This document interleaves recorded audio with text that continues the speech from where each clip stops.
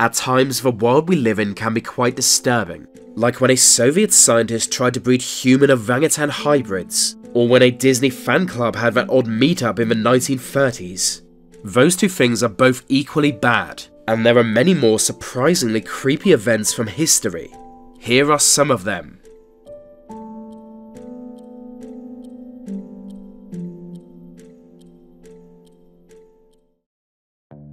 In the early 1900s, a single tiger killed more than 400 people.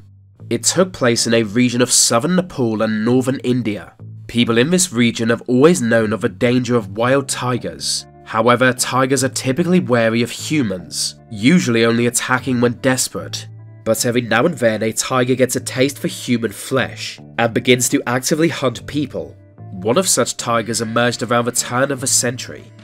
The attacks seem to have begun in the Nepali village of Rupal. Hunters were sent in to put an end to the attacks, but this was no ordinary tigress, and she was able to outmaneuver them. As time went on, more and more were attacked by her. Lone villagers dragged deep into the jungle and eaten. So many went missing that the Nepalese military was sent in to kill her, but they too were outmaneuvered. She was just too intelligent. By night she would change location, running over great distances to prey on unsuspecting villages. Then during the day she targeted women and children who strayed too far alone. By 1907 hundreds had been killed by this highly intelligent beast, so British hunter Jim Corbett was called in to deal with it. Born in India, Corbett was an experienced tiger hunter, often being called on in situations like this. If a tiger or leopard was preying on humans, he was your best bet to handle it, but even he was nearly killed by the Champawat tiger. With the help of 300 locals, he lured her into a trap. After cornering the tiger, he shot her twice, in the chest and shoulder, but it barely seemed to affect her. She got ready to charge when Corbett fired one last shot, finally killing her. On her body, they found evidence of old gunshot wounds. Locals believe this is what caused her to hunt humans. So if you need another reason to fear tigers, some of them want to destroy humanity. Speaking of cats, 1700s France was a good place for them, until it wasn't.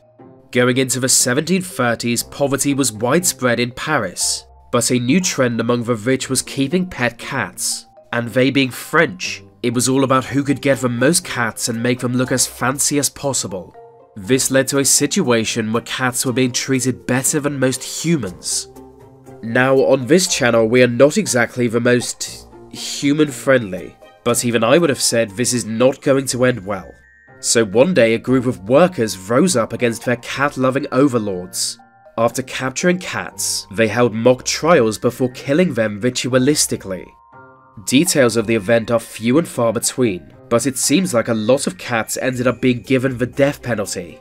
Usually they were hanged by the neck as if they were human.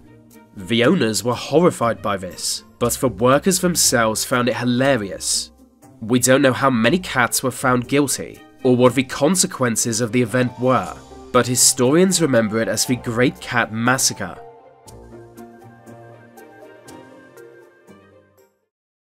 In 1799, a mad scientist tried to create a real-life zombie. That scientist was Dr. William Thornton, and the zombie was George Washington.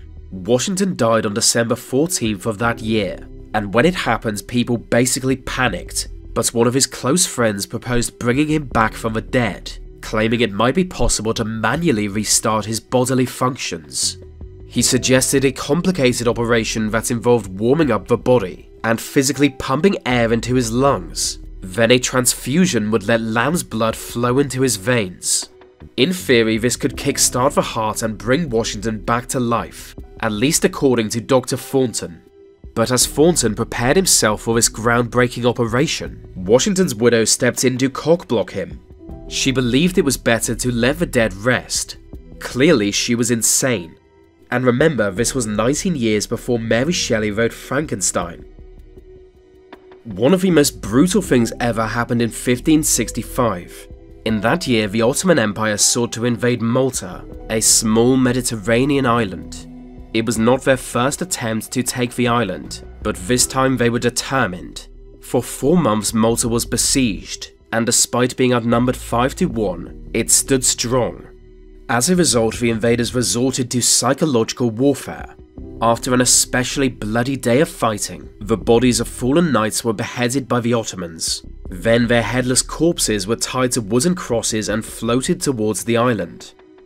The purpose of this was clearly to intimidate the Maltese knights, but this was the 1500s. People weren't really scared of anything back then, not even dragons.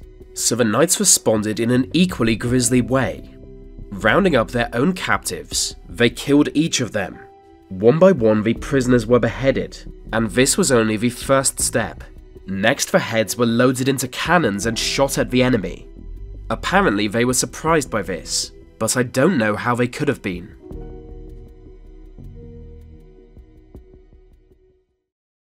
This next one isn't quite as creepy, but it's a lot weirder. In 1726, doctors across England were baffled. A woman called Mary Toft had reportedly given birth to rabbits. At first, nobody believed this claim, but a respected doctor soon came to examine her. Under his care, she gave birth to several more dead rabbits. With his own eyes, he saw the births happen, defying all he knew of biology. All of a sudden, people started believing the claim, and the king sent his personal doctor to investigate. That doctor was the famous Nathaniel St. Andre, and he too came to believe it. And so Mary Toft was taken to London for further study. But under close watch, no more animals were birthed, and under pressure, she confessed it was a hoax. But if doctors had watched her give birth to rabbits, how could it not be true? Well, it's thought she inserted the dead animals into herself beforehand, as you'd expect, this resulted in national mockery, and in the fallout, several doctors had their careers destroyed. That's a true story, and it's where I end this video.